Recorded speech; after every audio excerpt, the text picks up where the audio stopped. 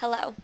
This video is an Employee Navigator tutorial and will walk you through how to register a new Employee Navigator account, be it for a new hire or a longtime employee using the system for the first time.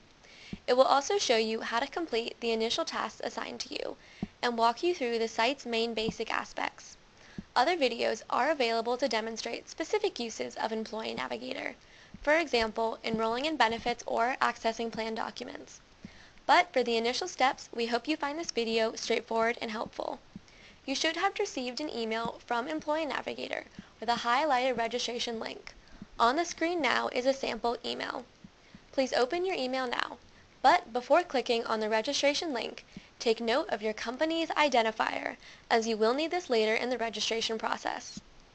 Click on the registration link now, which will take you to Employee Navigator to create an account. Here you will enter your first name, last name, the company identifier from the email that we talked about, your PIN, which will be only the last four digits of your social security number, and your birth date. When you are done, press Next. You can now enter your username. Employee Navigator suggests that you use your work email as your username, but for now we are creating a fake one. You can enter the password of your choosing, click Agree, and click Next. You will then be greeted by a welcome message. You can read it and click Next. The next page is an electronic signature and consent form. Because Employee Navigator is an online cloud-based system, electronic signatures are used in place of physical ones. By clicking Sign Document, you are agreeing to use an electronic signature on any forms and documents requiring one on the Employee Navigator website. You can read this page, then press Sign Document, and press Next.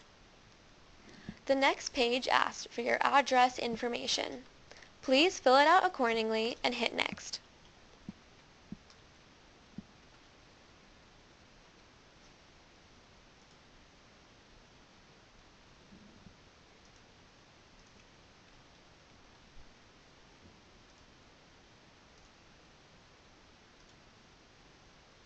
You will then be asked to complete various forms, depending on what your employer has assigned to you, and depending on if you are a new hire or simply new to Employee Navigator.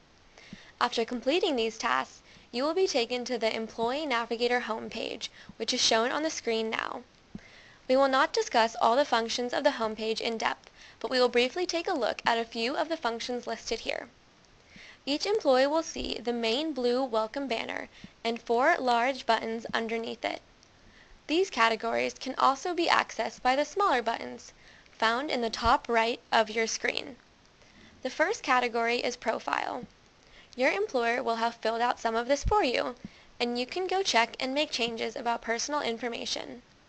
Next is Benefits.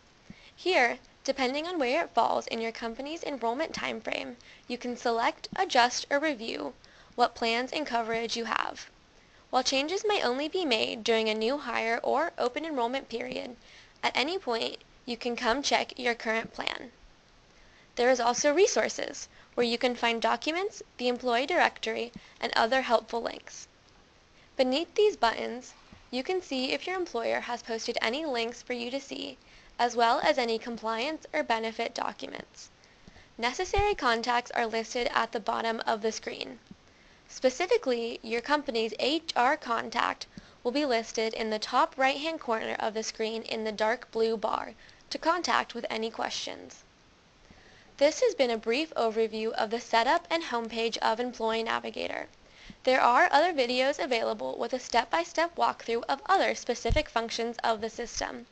We hope this video has been helpful and welcome to using Employee Navigator.